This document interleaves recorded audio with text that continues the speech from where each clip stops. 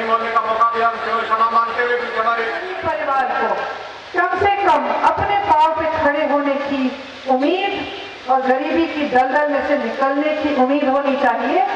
इसीलिए सरकार की ज़िम्मेदारी बनती है कि हर गरीब परिवार को सालाना बहत्तर हज़ार रुपए दिए जाएँगे।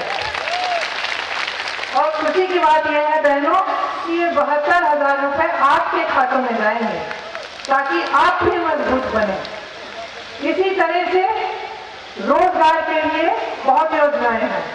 आपको शायद मालूम नहीं होगा कि भाजपा की सरकार में 24 लाख सरकारी रोज़गार खाली पड़े हैं।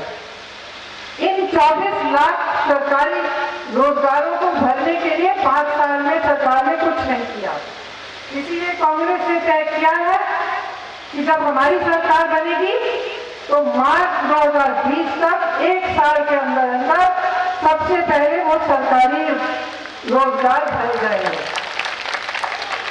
इसके अलावा ग्रामीण स्तर पर 10 लाख रोज़गार बनाए जाएँगे। आगे सुनिए, जो नौजवान अपना कारोबार शुरू करना चाहता है, उसके लिए खास योजना बनाई है कि तीन सालों के लिए कोई भी परमिशन और परमिट की ज़रूरत नहीं पड़ेगी आपको। आप अपना बिज़नेस शुरू कर सकते हैं। और ये टैक्स की झंझट और परमिशन की झंझट बाद में तीन साल बाद देखा जाएगा।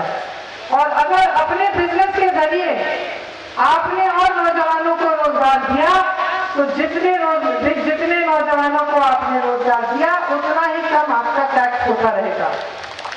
दुकानदार, जो नोटबंदी और जीएसटी से आज त्रस्त है, उसके लिए ये ऐलान किया है कांग्रेस पार्टी ने कि एक ही सरल साधारण जीएसटी होगी जिससे ये सब उलझन समाप्त हो जाए। मेरे किसान भाइयों और बहनों के लिए एक अलग बजट बनाया जाएगा।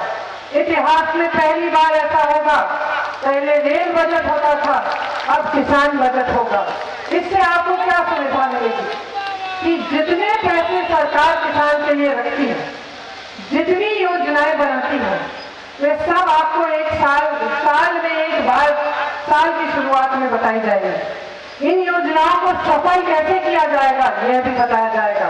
ताकि ताकि आपको सुविधा होगी, आपको पूरी जानकारी होगी। और आपके लिए खास योजनाएँ बनाई जाएँगी। यह भी तय किया है कि हर क्षेत्र में छोटा फ़ूड पार्क होगा। फ़ूड पार्क ऐसी चीज़ होती है जहाँ पे आप अपना उपज जाके बेच सकते हैं। और आपकी उपज सीधी देश के बाजारों से जुड़ जाती है। इसीलिए आपके ऊपर का दाम अब आपको अपने ही क्षेत्र में मिलेगा मेरी बहनों के लिए तैतीस प्रतिशत सांसद में आरक्षण होगा। जिससे आपकी आवाज़, हमारी आवाज़ संसद में पूरी तरह से उठेगी और हमारा प्रतिनिधित्व संसद में बढ़ेगा। बच्चों के लिए शिक्षा की सुविधाएँ सरकारी पाठशालाओं में बारहवीं तक मुफ़्त मिलेंगी और अस्पतालों में, सरकारी अस्पतालों में जाँच और इलाज की सुविधा मुफ़्त मिलेगी। मैं जानती हूँ कि उत्तर प्रदेश में अनुदेशकों की रोज़गार सेवकों की, शिक्षा मित्रों की, आशा बहुओं, आंगनवाड़ी की बहनों के लिए बहुत समस्या बनी है। किसी को मानदेय मिल ही नहीं रहा है। किसी का मानदेय अचानक बीस हज़ार रुपए घट गया। किसी का जो मानदेय है पाँच सालों से बढ़ा नहीं है, मात्र एक रुपए बढ़ा है। सबको नए नए काम लिए जाते हैं। रोज़गार सेवक ग्रामीण स्तर पर जितने भी काम है, करता है। आंगनबाड़ी की बहनें तमाम कार्य करती हैं। आशा बहुएँ एक महिला का नौ महीनों के लिए देखभाल करती हैं। वो महिला अगर कहीं सरकारी अस्पताल में उसकी डिलीवरी ना हो तो आशा बहू को कुछ उसके लिए मानने नहीं मिलता। ये बड़ी बड़ी समस्याएँ हैं आपकी भी। और हम आपकी लड़ाई लड़ना चाहते हैं। हम चाहते हैं कि आपके साथ न्याय हो। कि हर जैसे किसान है, आपके साथ अन्याय हुआ है, हम आपको न्याय दिखाना चाहते हैं। नौजवानों के साथ न्याय करवाना चाहते हैं। एक नई सरकार ऐसी बनाना चाहते हैं, जिसका आधार सच्चाई और न्याय हो। जिसके नेता जब आपके सामने आए, आपसे सत्य बोले, अगर कुछ काम हो नहीं रहा है मुझसे, अगर कुछ गलती भी हो गई, तब भी आपसे सच बोले। आपसे ये कहें कि माफ़ करिए, गलती हो गई है, हमसे नहीं हो पाया, हम और कोशिश करेंगे। लेकिन ऐसे नेता जो पूरी, अपनी पूरी राजनीति झूठों पर आधारित करते हैं, प्रचार पर आधारित करते हैं, और फिर जनता का आदर नहीं करते, इनको आप बदलिए। सरकार बदलिए अपना भविष्य मज़बूत बनाइए तो ये सब बातें करने के लिए मैं आपके पास आई और मैं आग्रह करती हूँ कि आप सुप्रिया जी के हाथ मज़बूत करें। पूरी जैसे उन्होंने कहा, पूरी कांग्रेस पार्टी एकजुट होकर ये चुनाव लड़ रही है। और मैं आभारी भी हूँ तनुश्री त्रिपाठी जी की और उनकी बहन अलंकृता की कि आप भी पूरा समर्थन दे रही हैं।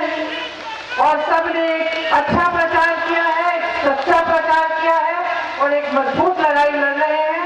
आप भी इनके हाथ मज़बूत करिए। आगे बढ़ाइए अपने ही क्षेत्र को, अपने ही भविष्य को मज़बूत बनाइए। आप सबको बहुत बहुत धन्यवाद जय हिंद हाँ एक और अपील करना था गोरखपुर में हमारी प्रत्याशी श्री जी भी आज यहाँ मौजूद मौजूद है। मैं एक खास अपील इनके लिए करना चाह रही हूँ, गोरखपुर की जनता से। आपके लिए समर्पित रहेंगे, दिन रात काम करेंगे। आप उनके हाथ मज़बूत करिए, इनको भी भारी भावना से जिताइए, ताकि आपके भी क्षेत्र में कांग्रेस मज़बूत बने और हम आपके लिए भी पूरी तरह से काम कर पाए, जैसे हम सब दूसरे क्षेत्रों के लिए करना चाहते हैं। आपको बहुत बहुत धन्यवाद। जय हिंद